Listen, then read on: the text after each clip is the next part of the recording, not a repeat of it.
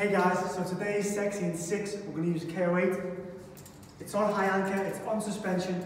Get yourselves one, give these six moves a go. First one, we're going to do a row into a curl, working that back and biceps movement together. Then from there, pistol, squats down, swap legs, down, swap legs, and up. Then we're going to go palms together, crocodile, pull it apart, swap them over, crocodile, like so.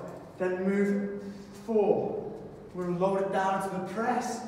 Arms go up, extend, bend at the elbows, chest and triceps. Bring one foot out if you need it, right the way out, back and then in. From there, squat down, push it up, squat down, push it up, and to finish, as fast as we can, drive those knees up. Six moves, fast, explosive. Let us know you get on. Sexy in six.